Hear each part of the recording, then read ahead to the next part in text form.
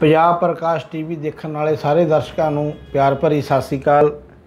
ਖਬਰ ਆ ਰਹੀ ਹੈ ਜੀ ਖਰੜ ਤੋਂ, ਜਿੱਥੇ ਪੰਜਾਬ ਮਹਿਲਾ ਕਮਿਸ਼ਨ ਦੀ ਚੇਅਰਪਰਸਨ ਮਨੀਸ਼ਾ ਗੁਲਾਟੀ, ਜੋ ਕਿ ਖਰੜ ਸ਼ਹਿਰ ਦੇ ਵਿੱਚ ਇੱਕ ਲੇਡੀਜ਼, ਇੱਕ ਔਰਤ ਜਿਹਦੀ ਲੱਤ ਕੱਟੀ ਹੋਈ ਹੈ, ਉਹ ਚੂੜੀਆਂ ਵੇਚਣ ਦਾ, ਫੈਂਸੀ ਚੂੜੀਆਂ ਵੇਚਣ ਦਾ ਕੰਮ ਕਰਦੀ ਹੈ। ਸਿਟੀ ਥਾਣੇ ਦੇ ਨਜ਼ਦੀਕ ਪਿੱਪਲ ਦੇ ਥੱਲੇ ਜਿਵੇਂ ਕਿ ਤੁਸੀਂ ਸਕਰੀਨ ਤੇ ਦੇਖ ਰਹੇ ਹੋ, ਇਹ ਔਰਤ ਪਿਛਲੇ ਲੰਬੇ ਸਮੇਂ ਤੋਂ ਇੱਥੇ ਚੂੜੀਆਂ ਵੇਚ ਰਹੀ ਹੈ, ਆਪਣੇ ਪਰਿਵਾਰ ਦਾ ਗੁਜ਼ਾਰਾ ਕਰ ਰਹੀ ਹੈ, ਇਹਦੀ ਇੱਕ ਲੱਤ ਕੱਟੀ ਹੋਈ ਹੈ।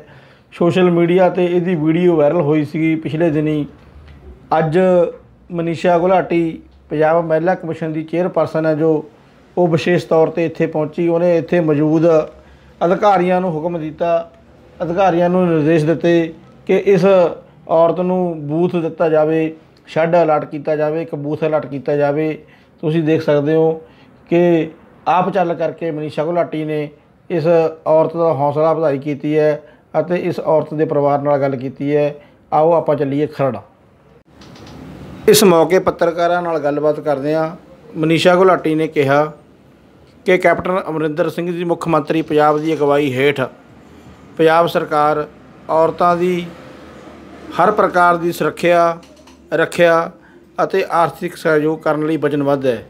ਉਹਨਾਂ ਕਿਹਾ ਕਿ ਇਸ ਬੀਬੀ, ਇਸ ਔਰਤ ਨੂੰ ਮਿਲਣ ਤੋਂ ਬਾਅਦ ਉਹਨਾਂ ਨੂੰ ਬਹੁਤ ਵੱਡਾ ਹੌਸਲਾ ਮਿਲਿਆ ਹੈ ਅਤੇ ਹੋਰਨਾਂ ਔਰਤਾਂ ਨੂੰ ਵੀ ਇਸ ਤੋਂ ਸੇਧ ਲੈਣ ਦੀ ਲੋੜ ਹੈ।